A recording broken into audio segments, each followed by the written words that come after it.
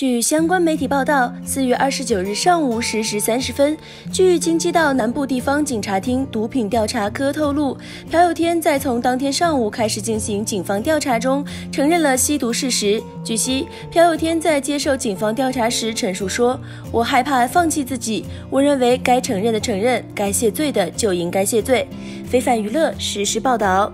另外，他还透露，吸毒是从遇见黄河娜开始的。